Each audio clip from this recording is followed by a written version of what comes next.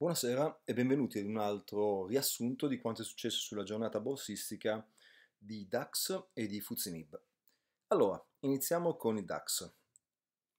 Ero entrato um, long, ok, in, in, questi pressi.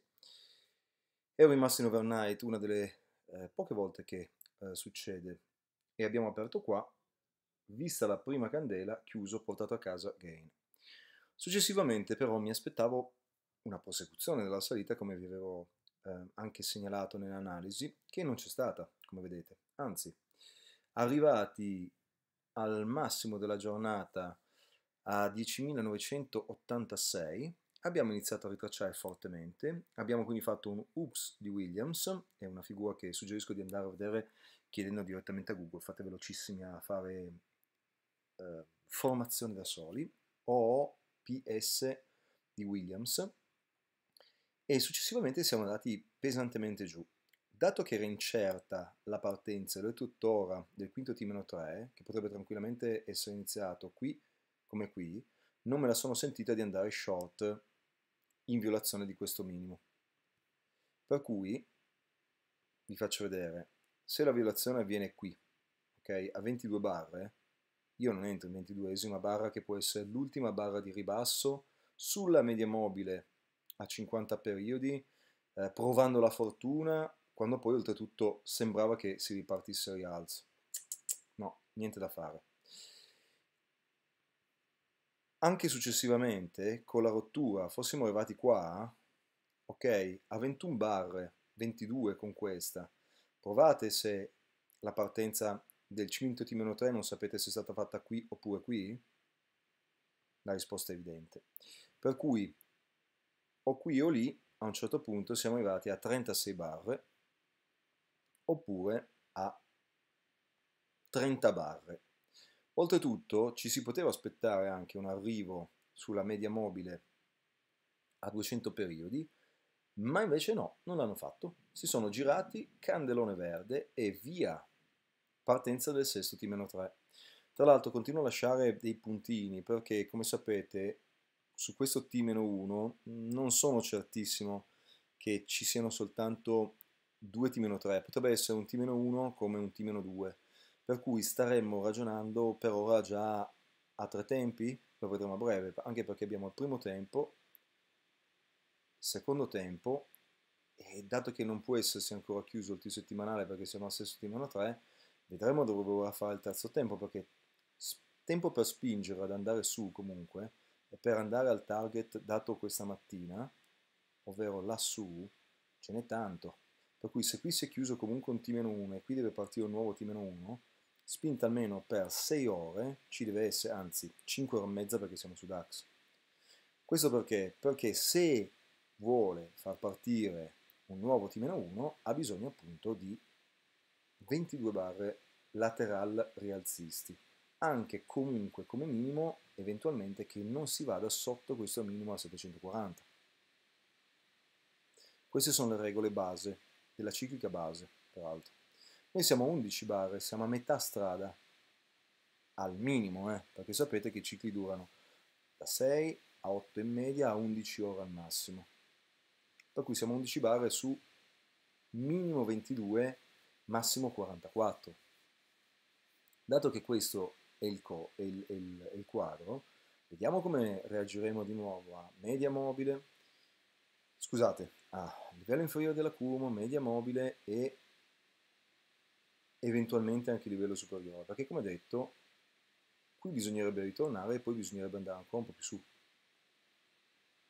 se è corretta la centratura o alto. Viceversa, rapida chiusura qui del settimanale a 6T-3 poi ripartenza. È ancora troppo complesso in questo momento, anzi troppo complesso.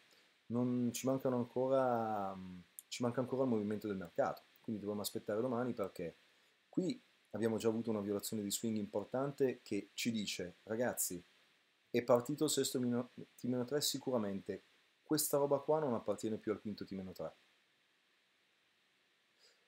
però appunto siamo al stesso T-3 e quindi cosa vorrà fare?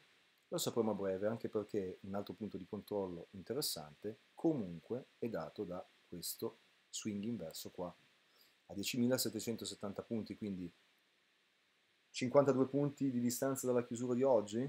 Sono tanti? No, assolutamente, ci dicono tante cose.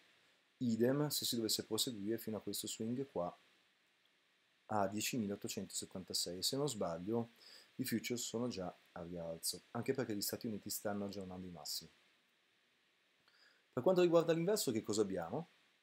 Abbiamo una cosa differente, ovvero qui o stiamo andando in chiusura a 32 barre, oppure, come sapete, possiamo arrivare fino a 44, quindi può fare tutto quello che vuole e continuare a salire. E di nuovo il punto di controllo ritorna a questo, 10.770. Se non violato, continueremo ad andare in chiusura di T-3 inverso, che è arrivato solo a 32 barre su massimo 44. Potrebbe farne 36, potrebbe farne 39, può fare quello che vuole.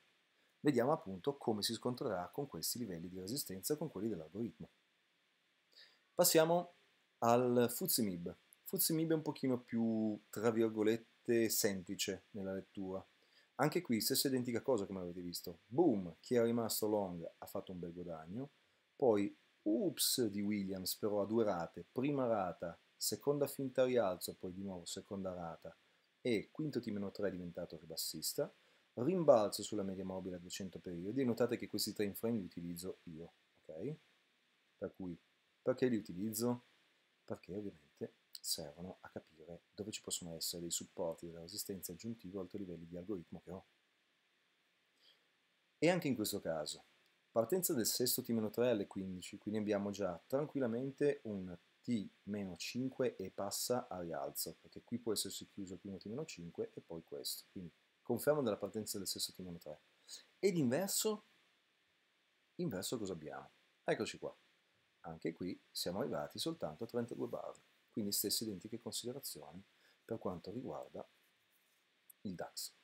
Direi che dovrebbe essere tutto, eh, non voglio farvi prendere troppo tempo perché altre considerazioni intanto in questo momento non possiamo farne, le rifaremo sicuramente domani mattina prima dell'apertura o durante l'apertura, anche per vedere effettivamente se c'è una corrispondenza tra quello che dicono i future e quello che poi effettivamente succede a monitor. Mi raccomando soltanto, fate attenzione come vi muovete perché chi sa muoversi anche in momenti di lateralità come questa si muove bene e guadagna. Chi invece purtroppo deve magari ancora migliorare dal punto di vista del trading rischia soltanto di fare danni su danni su danni e poi rischiare di andare in revenge trading e quello ancora peggio. Se l'analisi vi è piaciuta mettete un like, sottoscrivete il canale, mettete, cliccate sulla campanella per avere le ultime informazioni piuttosto che raggiungetemi nei miei due gruppi su Facebook. Se volete avere informazioni mandatemi un commento e vi potrò dire tutto anche relativamente del materiale gratuito che posso fornirvi. Vi ringrazio e vi auguro una splendida serata, anche oggi splendide giornate.